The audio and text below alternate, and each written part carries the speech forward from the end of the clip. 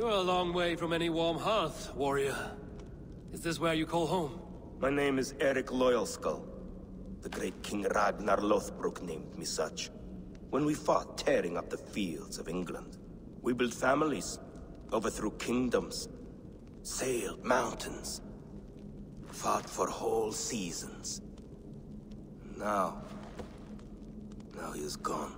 All of Norway laments the passing of King Ragnar. I cannot imagine the sorrow his warriors now feel.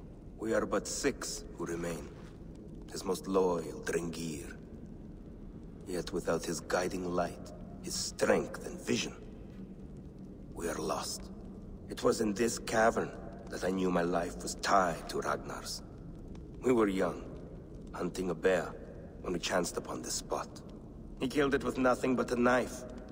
Leapt on its back, held tight, writhing like a fly on a dragon, he stayed put. And it was done. Together we celebrated the kill, as if we had felled the beast together. That is when I knew I would live and die for this man.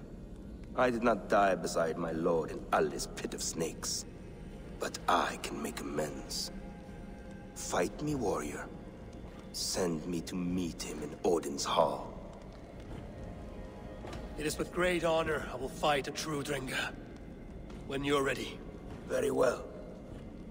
For Ragnar Lothbrok, the true king of Norway. For glory, for the wandering Drengir, I raise my blade.